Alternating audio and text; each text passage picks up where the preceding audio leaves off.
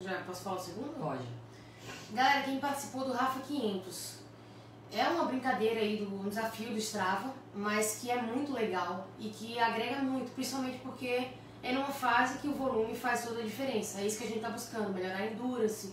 Então, é um desafio, não é fácil você fazer 500 km assim, né? Principalmente para quem ao longo do ano tem um tempo mais apertado. De repente, em dezembro vai ter mais tempo, consegue fazer, aproveita né? Agora já passou, mas tipo assim, para esse ano de 2020, quem não fez, já coloca isso na cabeça, porque é um desafio, tira o seu corpo da zona de conforto, é um diferencial. Começou a base, ah, agora eu vou andar 500 km nessa semana da base. Você não precisa fazer toda semana, mas aquela que você fez com certeza vai contar para sua progressão ao longo do ano. É uma carcaça, né? Que a gente fala que no ciclismo a carcaça conta muito. Aquela rodagem que você tem nas pernas. E proporciona com que você durante esses 500 quilômetros, você vai se conhecendo um pouquinho mais. Porque a gente deixa a planilha livre para quem vai fazer os 500 e você pode ter um autoconhecimento do que você aguenta, de como você deve rodar para conseguir fazer aquele volume. Né? E, e, com certeza isso aí conta muito. Então, o ano passado eu fiz o Rafa dividindo categoricamente quilometragem de forma uniforme.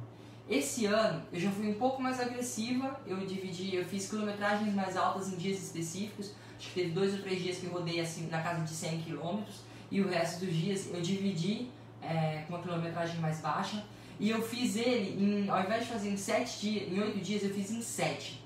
No ano que vem, eu planejo, aliás, esse ano de 2020, né, porque foi em 2019 que acabamos de virar. Em 2020, que nós estamos agora, eu pretendo fazer o Rafa em seis dias.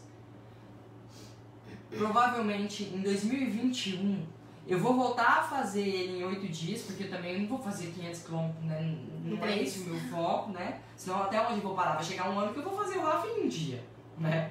Então, no ano, em 2021 eu já estou planejando fazer tipo assim, três treinos de. dois treinos de 150 quilômetros e um de 80 mais um de 70, ou seja, dividir ele em dois picos grandes.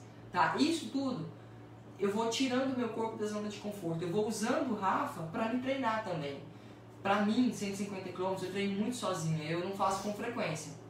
Acho que eu fiz já faz mais de um ano. Então eu uso esse evento, que é bem temático, para me testar e também eu consigo mensurar, vocês podem mensurar a evolução de vocês através do Rafa. O quanto o corpo de vocês suporta né, de, de quilometragem num dia só. E o Rafa também traz o autoconhecimento. Você falou do autoconhecimento. É, e tem um detalhe também. Às vezes, ah, mas eu fiz o Rafa e fiquei mega cansado. Normal.